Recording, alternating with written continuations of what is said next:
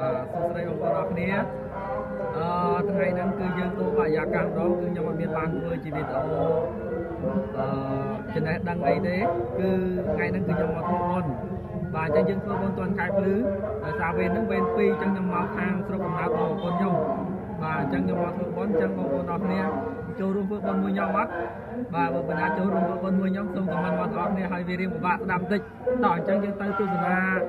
សកម្មភាពនៅក្នុងសាលាបុណ្យដែលបងប្អូនប្រជាពលរដ្ឋនៅក្នុងវេននឹងគាត់ចាប់ដើមធ្វើបុណ្យតោះអញ្ចឹងយើងទៅទស្សនាទាំងអស់គ្នាបានអនុញ្ញាតមកយកមកមកគុំសាសម្រាប់មិនលឺ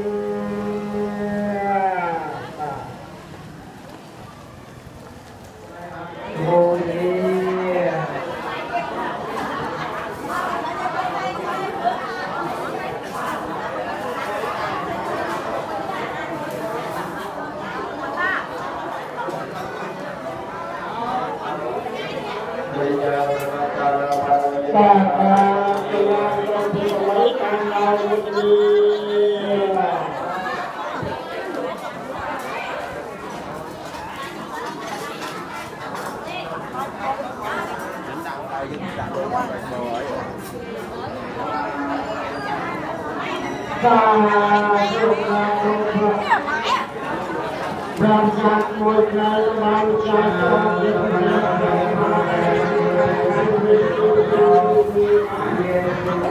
បាទលោកណាលោកប្រាំសាក់មួយក្រៅ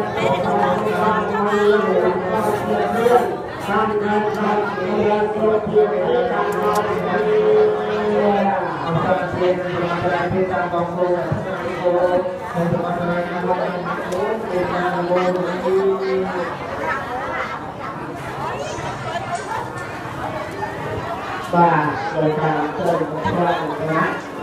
ិ